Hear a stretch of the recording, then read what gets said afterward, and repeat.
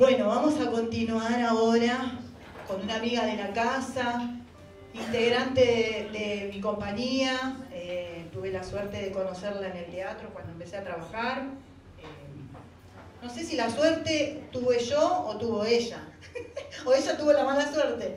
Pero bueno, eh, la vamos a presentar a Ver Ortiz, Amal, que va a interpretar Ablela Ulela. Fuerte ese aplauso, por favor.